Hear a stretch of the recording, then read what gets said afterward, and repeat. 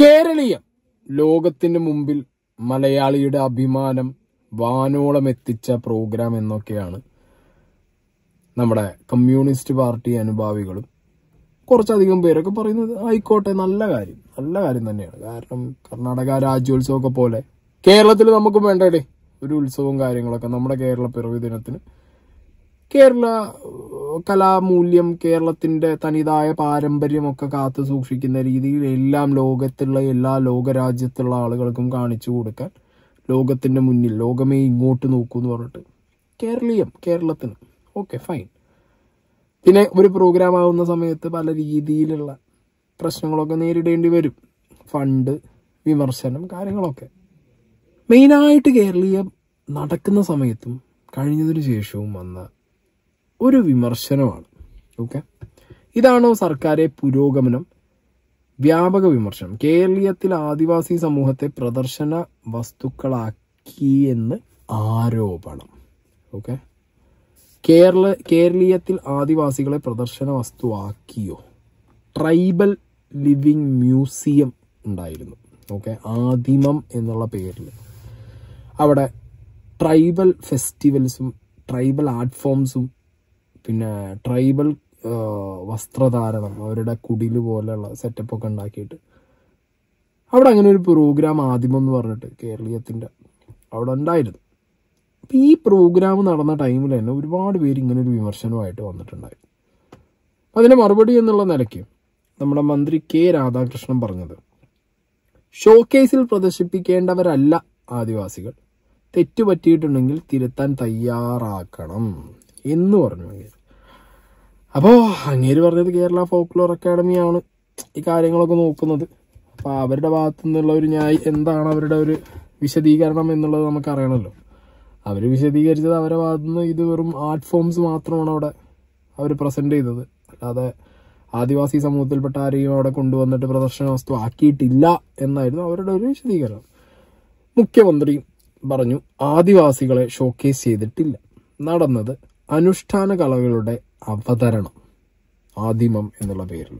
ഇതാണ് മുഖ്യമന്ത്രി പറഞ്ഞൊരു വേർഷൻ അപ്പോൾ ഓക്കെ ഫൈൻ ആദിമം എന്ന് പറഞ്ഞിട്ട് ആദിവാസി സമൂഹത്തിൽപ്പെട്ട ആളുകളുടെ അവരുടെ വസ്ത്രധാരണം അവരുടെ ഡാൻസ് ഫോംസ് അവരുടെ ഭക്ഷണങ്ങൾ എല്ലാം ഓക്കെ എല്ലാം ഷോക്കേസ് ചെയ്തു. ഫൈൻ കേരളീയ എന്ന് പറഞ്ഞ പ്രോഗ്രാം നടത്തി നമ്മളുടെ ആവശ്യം എന്തായിരുന്നു?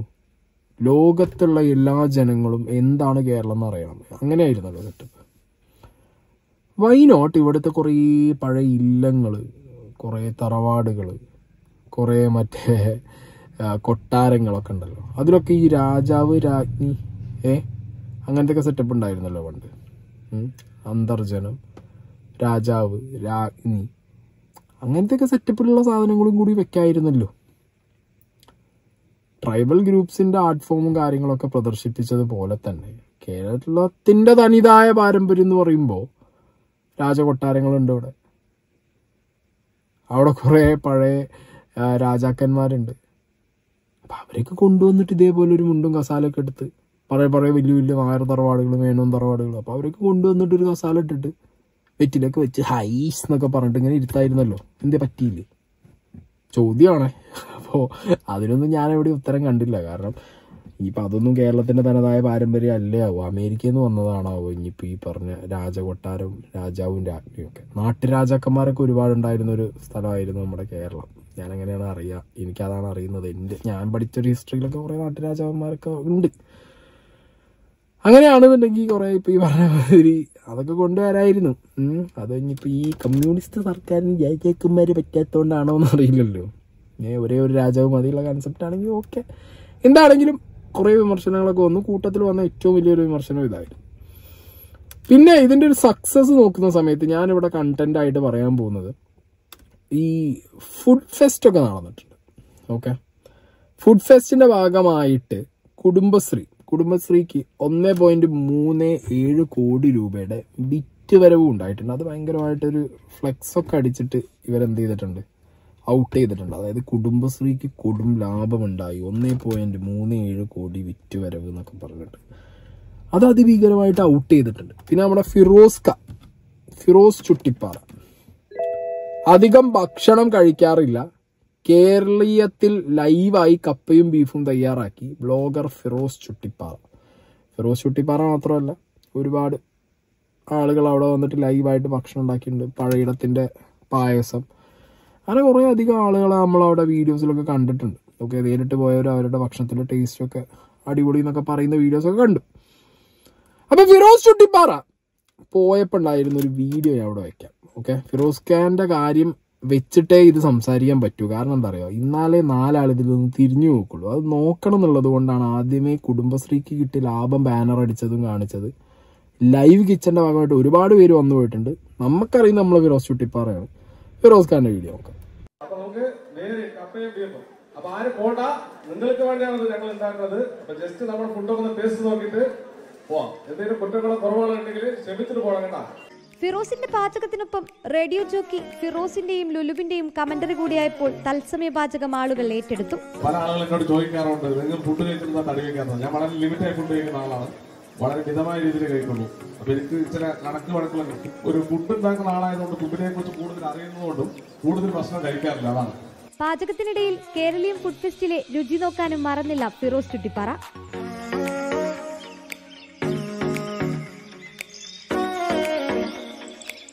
അഭിമാനമാണ് തോന്നുന്നത്. കാരണം എന്താ പറയുക ഒരുപാട് ആളുകളുണ്ടായിരുന്നു കാണാനായിട്ട്. ഞാൻ ആദ്യമായിട്ടാണ് അങ്ങനെ ഒരു പബ്ലിക് ഒരു ഷോ നടത്തുന്നത്. എനിക്ക് വളരെ സന്തോഷമുണ്ട് ഈ പരിപാടി പങ്കെടുക്കാൻ പറ്റിയത്. ശരിക്കും ഫിറോസ്ക പോയാലും നമുക്കും അഭിമാനിക്കാം. എനിക്കൊക്കെ പ്രത്യേകിച്ച്. കാരണം നമ്മളൊക്കെ ആദ്യം മുതലേ യൂട്യൂബ് കാണുന്ന സമയത്ത് ഇങ്ങനെ പോയൊരായ മതി തുടങ്ങി. വൻ സെലിബ്രിറ്റി എത്ര ഫുഡാണ് ഉണ്ടാക്കണേ. ഭയങ്കര മനുഷ്യൻ. അപ്പൊ അങ്ങേരെ അങ്ങനെ ഒരു അച്ചീവ്മെന്റ് അത്രയും വലിയൊരു വേദിയിൽ അങ്ങേരെ ലൈവായിട്ട് ഫുഡ് ഉണ്ടാക്കാൻ വിളിക്കുന്നു അദ്ദേഹം ഫുഡ് ഉണ്ടാക്കുന്നു അത് ഒരുപാട് പേർക്ക് ഇഷ്ടപ്പെടുന്നു. ഭയങ്കര അച്ചീവ്മെന്റ് തന്നെയാണ്. അപ്പൊ എന്താണെങ്കിലും കേരളീയം അങ്ങനെ ഭക്ഷണവും ഡാൻസും കലാരൂപങ്ങളും ഒക്കെ ആയിട്ട് കേരളീയം അങ്ങനെ അങ്ങനെ അങ്ങനെ ഭയങ്കര ഹൈപ്പിൽ ആണ് തീർന്നു. കേരളീയം തീർന്നപ്പോഴാണ് നമ്മുടെ ഹൈക്കോടതിയുടെ വരവ്. ആഘോഷ പരിപാടികളേക്കാൾ മനുഷ്യന്റെ ബുദ്ധിമുട്ടുകൾക്കാണ് പ്രാധാന്യം നൽകേണ്ടത്. ഇതൊരു മെയിൻ പോയിന്റ് കേരളീയം ഒരു സൈഡിൽ നടക്കുന്നു. ഞാൻ പറഞ്ഞ മാതിരി ലൈവ് കിച്ചൺ ഉണ്ടാവുന്നു. ഈ കുടുംബശ്രീക്ക് കിട്ടിയ നേട്ടം ഭയങ്കരമായിട്ട് ബാനർ അടിച്ച് കാണിക്കുന്നു. നമ്മുടെ ഫിറോസ്ക പോലുള്ളവർ വന്ന് ലൈവ് കിച്ചൺ കൈകാര്യം ചെയ്യുന്നു. ഇതൊക്കെ ഒരു സൈഡിൽ നടക്കുന്നുണ്ട്.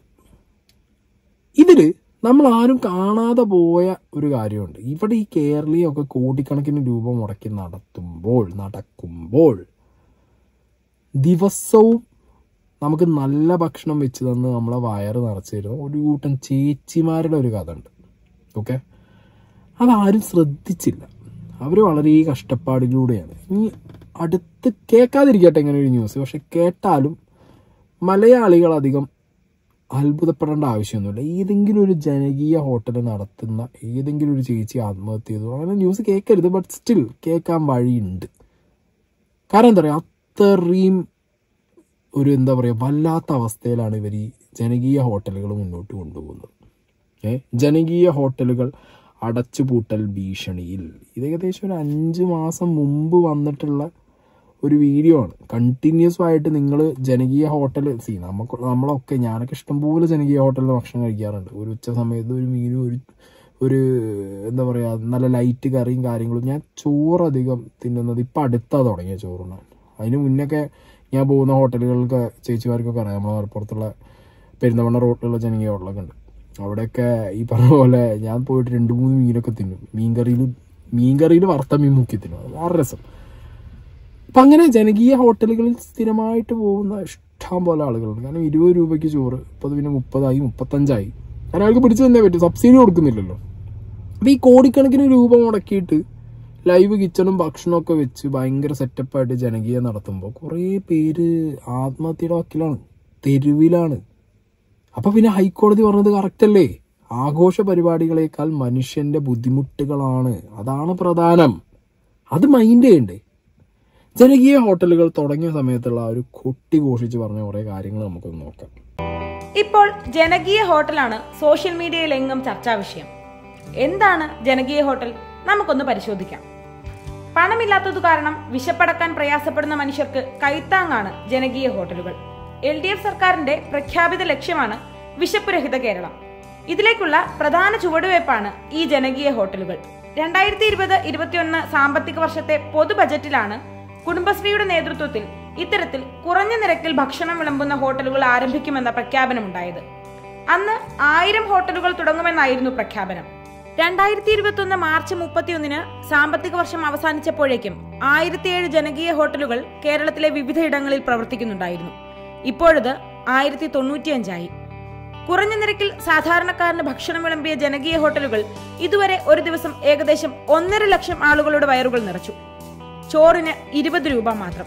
മീൻകറി തോരൻ അച്ചാർ പപ്പടം. പിന്നെ രണ്ട് കൂട്ടം കറികളും. പതിനഞ്ച് രൂപയ്ക്ക് ഓംലെറ്റ്. ഇരുപത് രൂപയ്ക്ക് മീൻ വറുത്തത്. ഇതാണ് ജനകീയ ഹോട്ടലുകളെ ഇത്രയേറെ ജനകീയമാക്കിയത്. വിശപ്പ് രഹിത കേരളം. അതായിരുന്നു പ്രഖ്യാപനം. ജനകീയ ഹോട്ടലൊക്കെ വന്ന ടൈമിൽ ഇരുപത് രൂപയ്ക്ക് ചോറ് എന്നൊക്കെ പറഞ്ഞിട്ടാണ് പരിപാടികൾ തുടങ്ങിയത്. പക്ഷെ ഇപ്പൊ കുറെ മാസങ്ങളായിട്ട് കോടിക്കണക്കിന് രൂപ സബ്സിഡി കിട്ടാതെ പല ജനകീയ ഹോട്ടലുകളും നടത്തുന്ന സ്ത്രീകളുടെ കൂട്ടായ്മ. സ്ത്രീകൾ കാശ് പുറത്തുനിന്ന് വട്ടിപ്പലിശയ്ക്ക് എടുത്തു ലോൺ എടുത്തിട്ടുമാണ് അവർ അവരുടെ ഹോട്ടലിന് മുന്നോട്ട് കൊണ്ടുപോകും പ്രതീക്ഷ. വെറും ഹോപ്പ് കാരണം എന്താ? സബ്സിഡി കിട്ടിയാലോ? ഇത് അതുവരെ പിടിച്ചു വെക്കാലോ അങ്ങനെ. അത്രയും ഗതികേടിൽ അവരവിടെ കിടന്നിട്ട് ജീവന് വേണ്ടി കേഴുമ്പോൾ അവരുടെ ഒരു ദിവസം മുന്നോട്ട് കൊണ്ടുപോകാൻ അവർ കേരളീയം അവരെ മുന്നിൽ നടത്തി ലൈവ് കിച്ചണും വെച്ച് എന്നിട്ട് കുടുംബശ്രീനെ പോസ്റ്റും അടിച്ചിറക്കി. എന്ത് പ്രഹസന സജീത് ഇത്. ഞങ്ങൾ ഞാനൊന്നും ഇങ്ങനെ ഒരു കടക്കണിയിൽ വരേണ്ട ആളല്ല.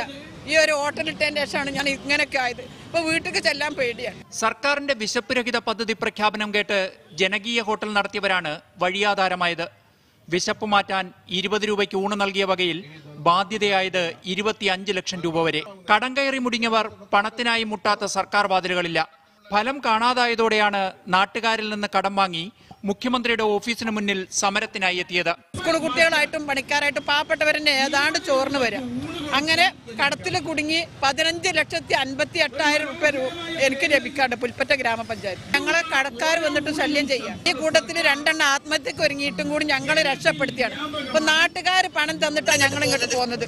ഈ ഗതികേട് വല്ലതും കേരളത്തിന്റെ അഭിമാനം ലോകത്തിന്റെ മുമ്പിൽ കാണിക്കാൻ വേണ്ടി കേരളീയം ഉണ്ടാക്കാൻ ഇറങ്ങിയ ഏതെങ്കിലും ഒരു മന്ത്രി കണ്ടോ? അല്ല ഏതെങ്കിലും ഒരു മന്ത്രി കണ്ടോ? വേണ്ട. ഇവരെത്രയും കഷ്ടപ്പെടുകയാണ് ഓക്കെ? ഈ ചേച്ചിമാർ എത്രയും കഷ്ടപ്പെടുകയാണ്. കേരളം എത്ര ദിവസമാണ് നടന്നത് ഇവരെ സബ്സിഡി കിട്ടാൻ പഴകുന്നുണ്ടെങ്കിൽ ഇവളെ ഇവരെയൊക്കെ വിളിച്ചു വരുത്തണം.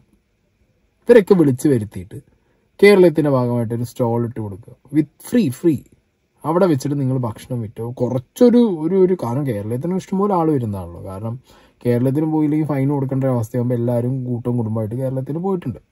അപ്പോൾ പിന്നെ അങ്ങനെയെങ്കിലും അവർക്കൊരു സംഖ്യ കയ്യിൽ കിട്ടുകയാണെങ്കിൽ കിട്ടിക്കോട്ടെ എന്ന് വിചാരിക്കും. അവിടെ കേരളീയം തകർത്ത് കിടക്കുമ്പോൾ ഇവിടെ ഇവർ സെക്രട്ടേറിയറ്റിന്റെ മുന്നിൽ പാവങ്ങൾ ഉണ്ട ചോറിന് നന്ദി വേണം വിളമ്പിയ ചോറിന് കാശ് വേണം എന്നാണ് പ്ലക്കാർഡ് വെച്ചിട്ടുള്ളത്. അതൊക്കെ കണ്ടിട്ട് അതിന്റെ മുന്നിൽ കൂടി പോകുന്ന ഉളുപ്പില്ലാത്ത ഇവിടെ ഭരിക്കുന്ന ടീമിന്റെ ഒരു അവസ്ഥയാണ് ഞാൻ ആലോചിച്ച് നോക്കുന്നത്. അവിടെ നോക്കുന്നുണ്ടാവില്ല. ഇങ്ങനെയാവും പോണത്. കള്ളന്മാര് പോണ മാതിരി. അങ്ങനെ പോവാൻ പറ്റൂ.